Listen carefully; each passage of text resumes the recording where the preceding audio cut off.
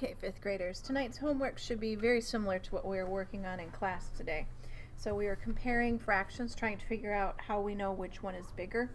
Um, since these have the same denominator, we know 4 fifths is bigger because our numerator, this one is 1 bigger than that. So if this was a piece of pie, you got 4 out of 5, and this person only got 3 out of 5.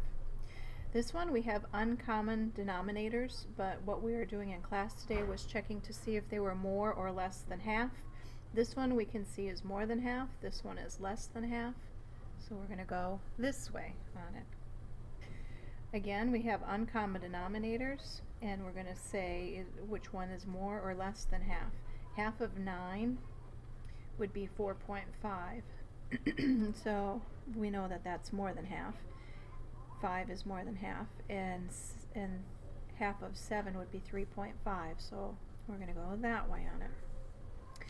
This one, they're very close. Both of them are more than half. Both of them are very close, um, one away from equaling the bottom part, the denominator. Lots of times with this one, kids will think about the part that's missing. So if you have it sliced into eight slices and your part that's missing is one eighth of it, and then the part that's missing over here is one seventh, we know that this one would be bigger. On this one it says cross out the fractions in each of the lists that is not equivalent to the other fractions. So in this case we're looking for fractions that are equivalent, um, which ones are equivalent. So 2 thirds, if I double that I would get 4 sixths. Um, I'm thinking times 9. 2 times 9 would be 18. 3 times 9 would be 27. So this one is not equivalent. 2 times 10 is 20. 3 times 10 is 30. That one works. On uh, this one, 1 fourth, 2 eighths. I can just multiply them both by 2. This one, 4 times 5 is 20. 1 times 5 would be 5, so that must be it there, but we'll double check. 4 times 6 is 24. 1 times 6 is 6. 4 times 8 is 32. 1 times 8 is 32, so we got it. This one, if we multiply it by 2, 3 fifths times 2 over 2 would be 6 tenths. Um, to get 20 it must be times 4. So 5 times 4 is 20, 3 times 4 is not 9. 5 times 5 is 25, 3 times 5 is 15. So we found it. On this one we need to write equals if it's equal or not equal if it's not equal. So 5 times 3 is 15, 3 times 3 is not 10. So not equal on that one. And 8 times 3 is 24. 6 times 3 is not 16. They are not equal. Uh, I'm dividing now. 24 divided by 3 is 8. 15 divided by 3 is 5. So yes, these are equal. 14 divided by 2 is 7. 6 divided by 2 is not 3, is not, would be 3, is not 2. Good adjust my camera. Sorry about that. It moved on me. Give three equivalent fractions for each of these fractions. So 6 ninths, I could divide it by 3 over 3 if I wanted to. If I divided this by 3 and this by 3, I would get 2 thirds. Or I could, uh, I could double this and I would get 4 sixths. And I could triple that, that's when I would get the 6 ninths or I could multiply this one times 4 that would be 8 24ths whoop I did it wrong. Uh, I'm thinking too much. 2 times 4 is 8 3 times 4 would be 12 so 8 twelfths on that one. And yours might be different. They don't all have to be the same. As long as they are equivalent to 6 ninths. This one I could make smaller. I could go 5 over 10 if I divided them both by 10 and I could call this 500 over a thousand.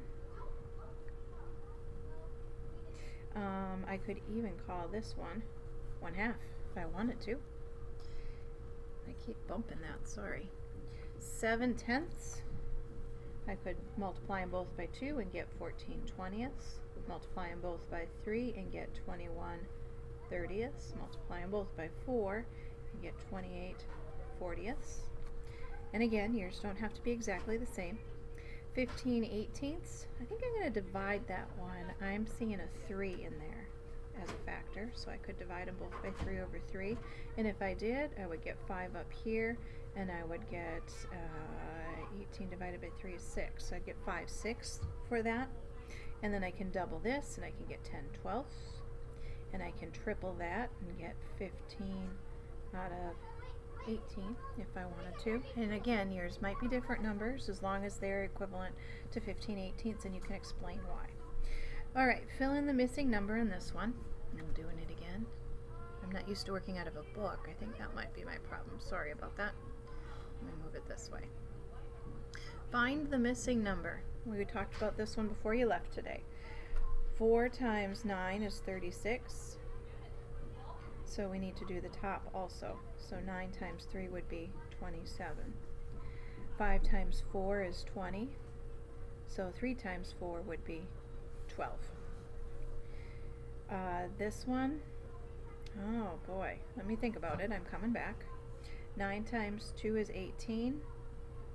So what times 2 would have been 24? That must have been 12 on that side. We're dividing here. 12 divided by 3 is 4. So 9 divided by 3 would be 3. And 16 divided by 2 would be 8. So what divided by 2 would have been 10? That must have been 20. This one. See if I'm back on camera again. 2 times 3 is 6, so 5 times 3 would be 15. 15 divided by 5 is 3. What divided by 5 would have been 5, so this must have been 25. 4 times 4 is 16, so 9 times 4 is 36. And on the bottom here, I'm going to be writing greater than or less than, and I can see that 5 times 2 is 10, but 2 times 2 is not 4. So they are not equal. One of them is larger than the other.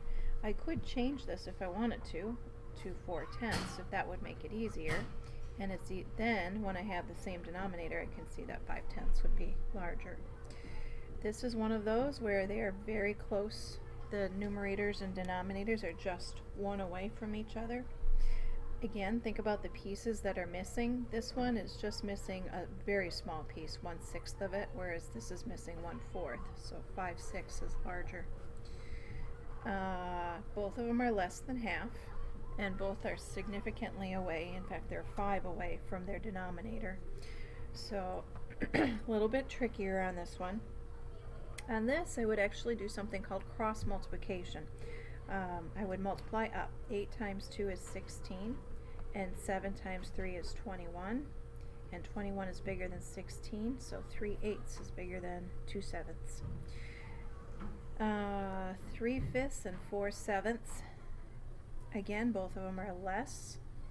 This one is missing 2 out of 5. This one is missing 3 out of 7. They're pretty close.